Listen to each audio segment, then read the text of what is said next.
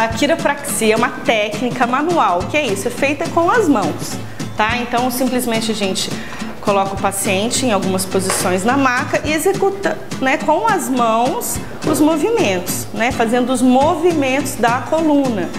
Olha, não precisa ficar com medo que eu não vou fazer nada, nada, nada, nada.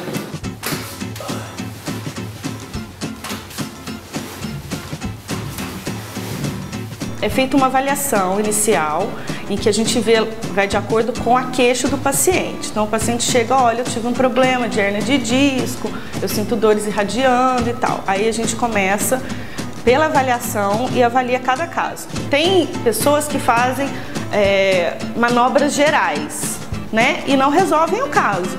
Não adianta, a gente tem que fazer específico. Então, se o paciente A está com um problema no quadril, não adianta fazer uma manobra geral, sendo que vai voltar porque o problema não foi sanado, a causa foi no quadril.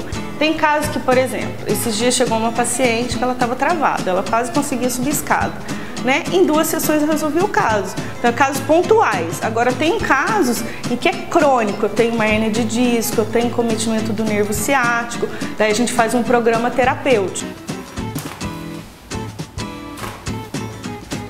Na verdade, a quiropraxia não trata só a coluna vertebral. A gente tem muitos casos de problemas de quadril, né? Muitos problemas que ocorrem na coluna, às vezes não é na coluna, o problema é no quadril.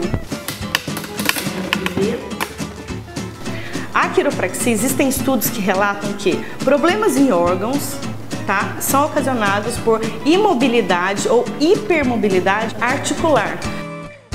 As pessoas têm medo.